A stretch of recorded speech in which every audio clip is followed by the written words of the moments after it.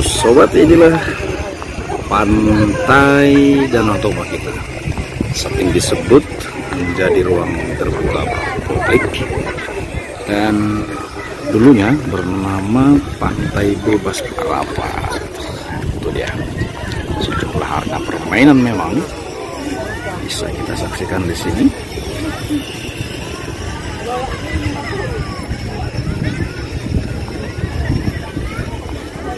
Dan tampak juga ada sejumlah eh, tempat untuk para pedagang. Hanya saja belum tahu kita siapa yang akan menempati ini. Kemudian ada arena bermain untuk anak-anak seperti ini. Barangkali waktu kejadian kemarin amarah warga saat ini akan ditutup kembali tentu akan menghilangkan mata pencaharian mereka di antaranya untuk menyewakan alat-alat permainan ini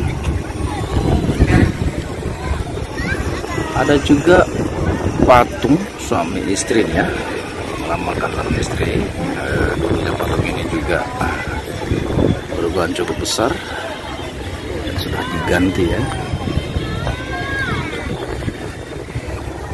Suasana pantai bebas perapat kemudian kalau kita menyaksikan sampai di atas tempat ini bisa melalui tangga-tangga anak tangga dari bawah.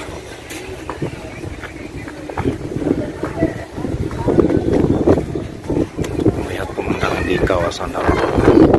Spot foto juga sangat cantik dari sini. Persoalannya adalah siapa yang diklaim untuk mengelola ruang terbuka publik. Kota wisata Parapat